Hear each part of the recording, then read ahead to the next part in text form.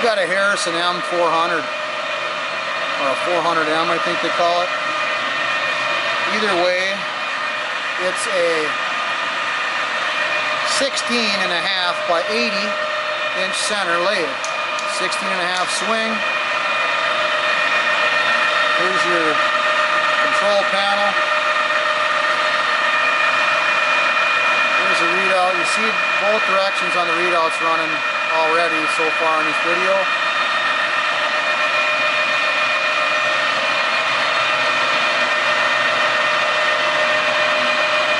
This comes with uh, an Aloris tool post, this model CA tool post. We're gonna, we're gonna throw in eight holders with it. Can't tell you what they are, but there'll be eight holders. This lathe has taper attachment. This part of it's not hooked up at the time, but that's insignificant. It has taper, two axis digital readout of course, Number 5 Morse taper in both the spindle and the tail. You got a 3 12 inch 3 jaw that's on the machine right now. I'm showing you it is a 4 jaw. D18 cam lock. There's another 12 inch 4 jaw. There's a face plate. There's a Jacobs quick flex collet change. There's two dog plates. There's your flex collets.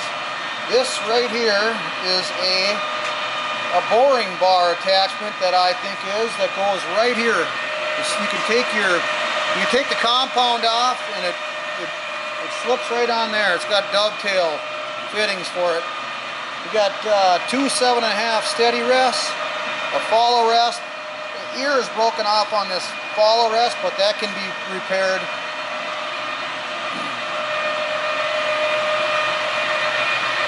Okay, I got a Harrison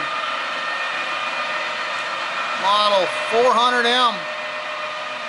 It's got coolant. It's got a splash guard throughout. What's nice about the Harrison is they molded the splash guard and the coolant tray.